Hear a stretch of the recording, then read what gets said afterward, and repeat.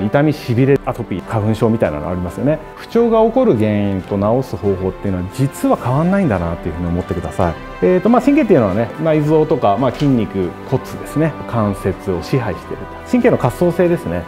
活動性という部分が回復すると内臓の機能がね正常化する。仙骨触ってください。ストレスをかけたまんまこう揺らぎを与えてる感じですね。後頭骨まで引っ張られる感覚が出ます。引っ張られるものの制限を取ってあげるっていうのがすごく有効だと思ってください。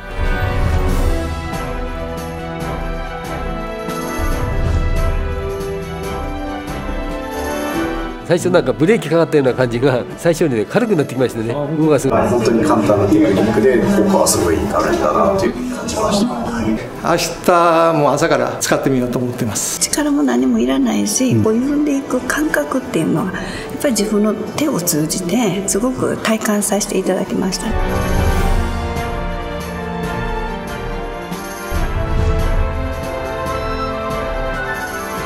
秋原先生から教えていただいた手技を3ヶ月ぐらいやっただけなんですけども体外受精でもダメだったのが自然妊娠することができました。神経というものを正常化させて臓器をしっかりと見守って正常化してるかどうかっていう部分を見ていくのが我々の役目だとも思います